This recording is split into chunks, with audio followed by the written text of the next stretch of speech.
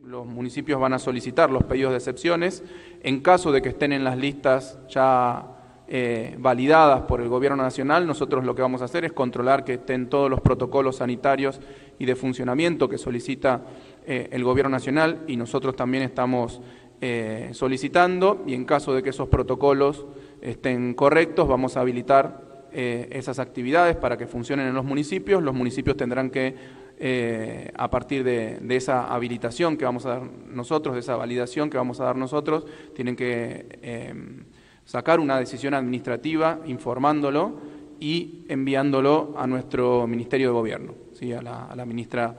eh, a cargo del Ministerio de Gobierno. Entonces, ese es para el caso de que de las actividades habilitadas. Para las actividades que todavía no están habilitadas por el Gobierno Nacional ni por el Gobierno provincial, lo que se va a hacer es una consulta con nuestros ministerios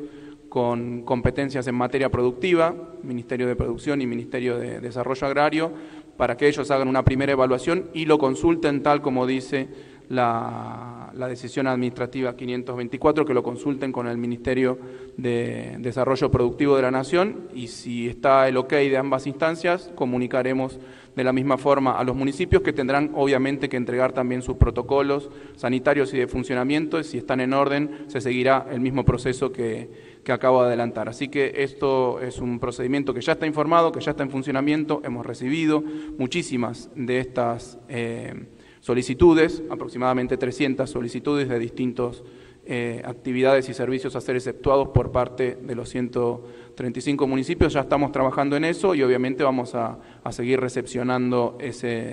esas solicitudes. Así que el mecanismo ya está en funcionamiento. Eh, a la brevedad nosotros le estaremos comunicando a los municipios cuáles son las actividades que van a estar permitidas y cuáles no por cuestiones sanitarias eh, y así seguiremos trabajando porque esto es una cuestión muy dinámica y que hay que ir revisando minuto a minuto.